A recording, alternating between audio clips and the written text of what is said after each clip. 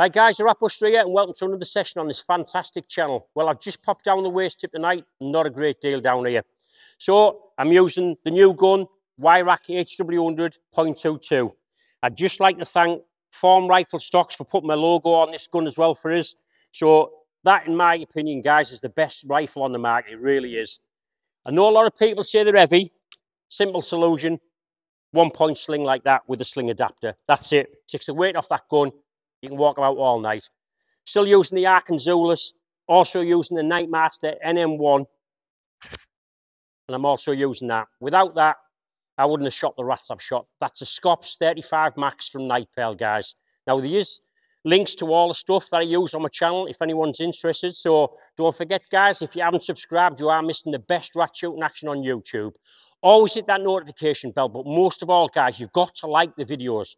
If you don't like them, it's not helping the channel. So, as always, thanks for watching. Hope you like this session tonight, guys.